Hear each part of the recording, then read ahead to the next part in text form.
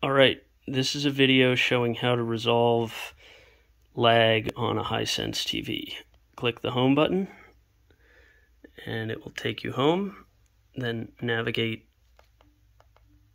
to the settings and scroll down to device preferences and then scroll down to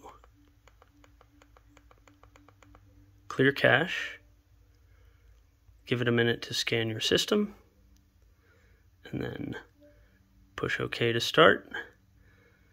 It will clear the cache. Once it has done, push OK, return to your home, then you should be able to continue watching TV without any lag.